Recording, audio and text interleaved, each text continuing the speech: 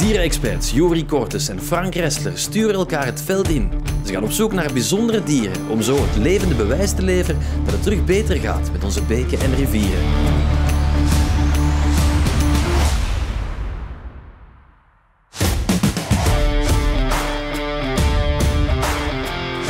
Vandaag daagt Jori Frank uit.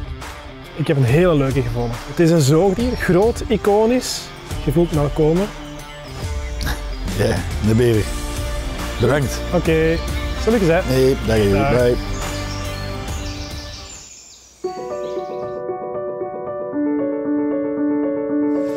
Voor een bever weet ik waar we moeten zijn. En dat is hier in op Glabbeek, in de prachtige Bosbeekvallei. Hier zit al enkele jaren een beverfamilie. En ondertussen hebben ze hier de grootste dam van heel Vlaanderen gebouwd en de Burgerse vlak langs. Dat is hier een beetje verder.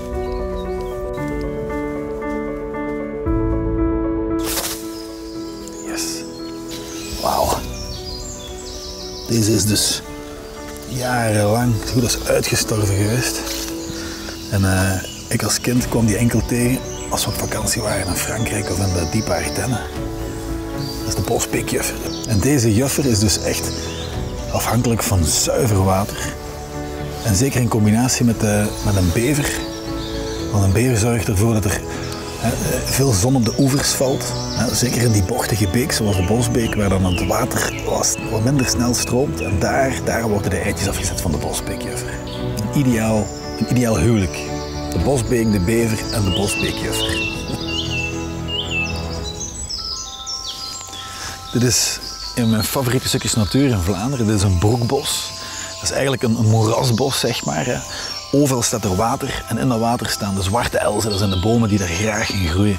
En dan hangt een hele mystieke sfeer altijd. Komt weinig licht door de bomen. En hier hebben we eigenlijk van die waterpartijtjes die blijven staan. Met heel speciale plantjes. Zoals we hier. Hier hebben we een plantje, dat is waterviolier. Dat is een, een plantje dat enkel groeit waar er heel zuiver bronwater stroomt en blijft staan zoals in deze plas.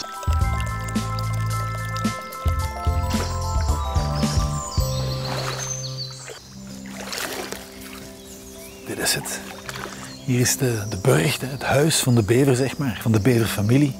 Mama, papa en de kindjes zitten nu binnenin. Hè, die zwemmen onder het water de burcht in. En dan hebben ze een kamer binnenin waar ze de hele dag doorbrengen, waar ze de hele dag liggen te slapen. En je ziet heel het bos hier onder water komen te staan. Tot de kleine beek die hier stroomde, daarachter is gestopt door de dam van de bever. En zelfs de zwarte elzen, die, die met de wortels heel graag in water staan, zelfs voor die bomen is het te veel. Het water is te hoog aan het komen en je ziet het ook aan de bomen, die zijn stilletjes aan aan het afsterven. Na verloop van tijd gaat het hier een prachtig open water worden. En met daar rond al dat mooie broekbos wat hier nu ligt. Ja, op die manier is dus de, de bever juist zoals vroeger terug een beetje de architect van de natuur. Hè. Prachtig.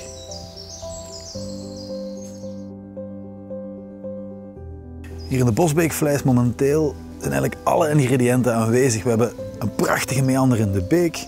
We hebben een bever die zorgt voor dynamiek. Dat allemaal gecombineerd met zuiver water zorgt voor een maximaal aantal dieren die hier weer een kans krijgen om te overleven.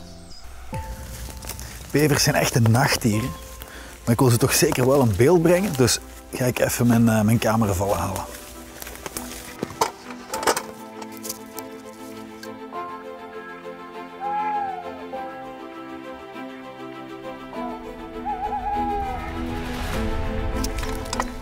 Deze cameraval had ik hier gehangen omdat ik hier verse knaagsporen zag. Dus ik ben heel benieuwd of de bever is teruggekomen of niet.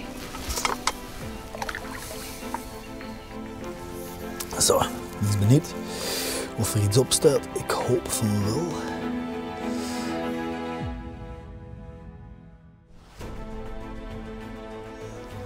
Magnifiek. Hè? Ja, hier, hier, bingo. Op de plek waar we dachten dat hij misschien zou gaan knagen, daar zit hem er toch niet op zeker. Dus ik kruip er mooi op. De beelden stuur ik straks door naar Jury, maar de bever staat er echt goed op. Dus mission accomplished.